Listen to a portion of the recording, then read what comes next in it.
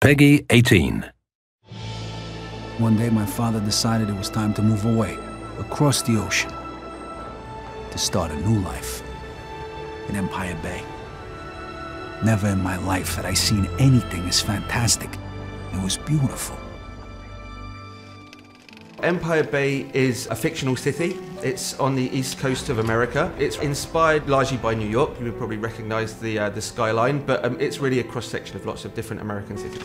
Coast uh, Empire Bay. Uh, Empire Bay covers an area of around 10 square miles, which is roughly twice the size of the city in the original Mafia.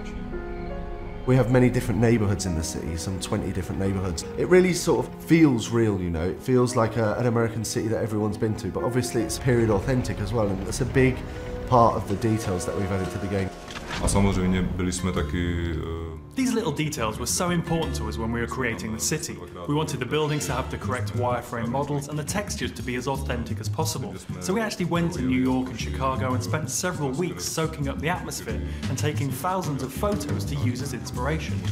We have two versions of the uh, the city. We've got a 1940s version, and a 1950s version. So the first part of the game is set in the winter. You know, like the whole place is completely covered in snow.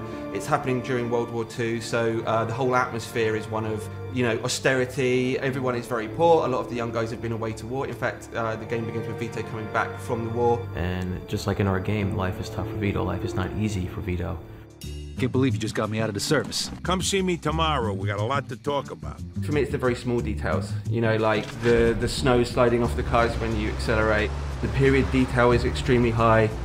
All of these things together, the animations, the detail, the weather changing as you go through the, the missions, it's really just all adds together to create the atmosphere and the vibe. Then when we move to the 50s, it's a very different environment. It's rock and roll. The guys are driving cool cars. Everyone's got a little bit more money. The whole kind of feeling and the vibe of the game have changed.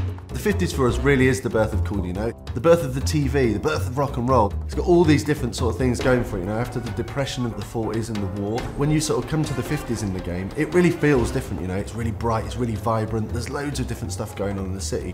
The music in the game really transports you back to the era. We have almost 200 licensed tracks that were on the radio back then. This is all real music from the era. You know, it's artists like uh, Little Richard, Tony Bennett, classic artists that you know the music is still alive and well today.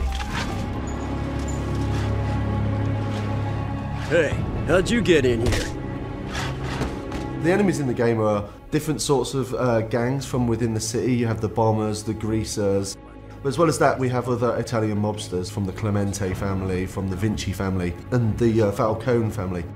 I guess a big enemy could be described as the police force. The feds and the police are always trying to put a stop to the mafia's crimes that are going on. It depends on which police you're talking about. If it's the beat cop, are you going to screw with these guys who really aren't committing a violent crime right in front of you? You're just going to take your payoff and keep on walking because it's a lot easier. What we wanted with the police is a sort of very 50s film sort of feel to it, you know. If you duck out of sight, duck down a few alleys, then you're going to lose the immediate chase. Everything just feels different. The way they speak is different, the music is different. All these different elements, they really transport you back. It doesn't feel like, oh, I'm going to go to Manhattan now and walk around. Expect to see the same kind of thing. It's a different world.